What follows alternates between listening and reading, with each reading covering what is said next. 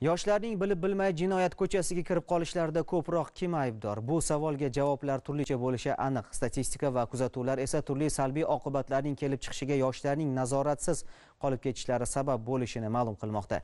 Toshkentda yuz bergan voqeada ham aynan yuqoridagi savolga javob izlash mumkin. Bugun internetdan foydalanmaydigan yoshlarni uchratish bu anchayin mushkul masala bo'lsa kerak. Ularning zamon bilan hamnafasligi ushbu tarmoqdan bilimlarini oshirish yo'lida foydalanishi nur ustiga a'lo nur. Ammo ota onalarchi siz farzandlaringiz internetdan nimalarni ko'rayotgani bilan hech qiziqib ko'rasizmi? Sergeli tumanida farzandlari uchun uyiga wi fi o'rnatgan ona o'zi turkiyada bo'lganligi sabab o'g'lining internet tarmog'idan qanday foydalanayotganini nazorat qila olmaganidan afsusda. Chunki man u yoqda turganimda man har kuni kechqurun telefon qilardim uydamisan uydaman ko'chaga chiqma ho'p derdi. Uyda o'sha e, wi fi ulatib bergandim. Har oy wi fini pulini to'lashardi pul chiqazardim u yerdan shu uyda kino ko'rib o'tirishardi. Hech ko'chaga chiqmasdi. Qaynonam qari deyapmanku internetni ko'rmaganda shu shu aytdimman nima qanaqa hozir man o'chirib tashladim wi fi yo'q hozir. 16 yoshda bo'lgan maktab o'quvchisi uyida o'rtog'i bilan kino ko'rayotgan vaqtida chiqib qolgan reklama roligi ularni qiziqtirib qo'yganini aytmoqda. Reklama keldi. Shunaqa narsa to'g'risida instagramdan keyin chuqurlashib chuqurlashib oxirigacha boshidan oxirigacha ko'rib qo'ydik.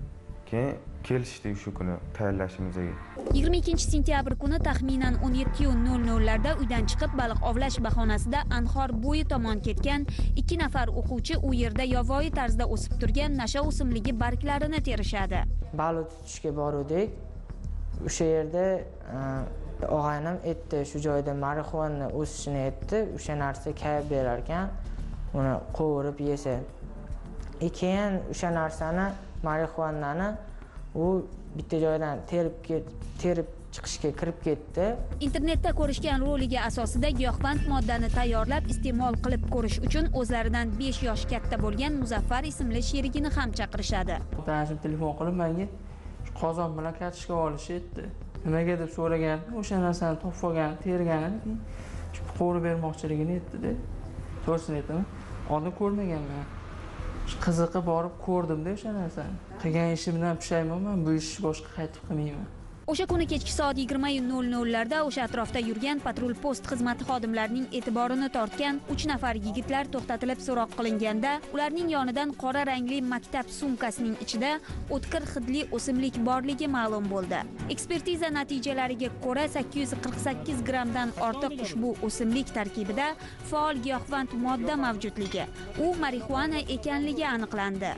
Mazkur holat yuzasidan sergeli tumani ichki ishlar organlari faoliyati muvofiqlashtirish boshqarmasi tergov bo'limi tomonidan o'zbekiston respublikasi jinoyat kodeksining ikki yuz yetmish oltinchi moddasi ikkinchi qismi a bandi nazorat bandi bilan jinoyat ishi qo'zg'atilib hozirda dastlabki tergov harakatlari olib borilmoqda. Mana shu kuni o'zi tormozlanib qoldim to shu yoqqa yetib kelgunimgacha. Chunki xudoni o'zi asrasin bunaqa kunlarga tushmaganman umuman bunaqa joylarda yurmaganman. Adasi nima deydilar voy adasi hamyonni to'ntarib tashladi. Mana ha yur ko'chaga yatsa manaqa qilarding ruxsat berarding mehribonchiliging. Ertaga nima degan odam bo'ldik bizni mahallada dedilar giyohvand moddaning ta'mini totib ko'rmoqchi bo'lgan yoshlar ayni vaqtida to'xtatib qolindi.